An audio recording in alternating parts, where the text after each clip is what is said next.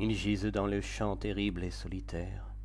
Leur sang fait une amarre affreuse sur la terre. Les vautours monstrueux fouillent leur ventre ouvert, leur corps farouche, froids, épars sur le pré vert, effroyables tordus noirs en toutes les formes que le tonnerre donne aux foudroyés énormes.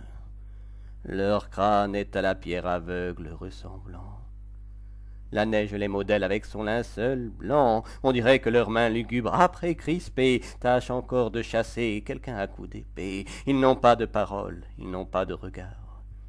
Sur l'immobilité de leur sommeil hagard, les nuits passent. Ils ont plus de chocs et de plaies que les suppliciés promenés sur des claies. Sous eux rampe le ver, la larve et la fourmi. Ils s'enfoncent déjà dans la terre à demi, comme dans l'eau profonde un navire qui sombre.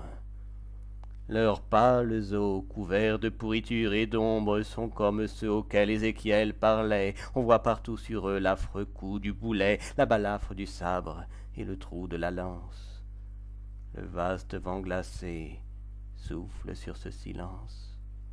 Ils sont nus et sanglants sous le ciel pluvieux.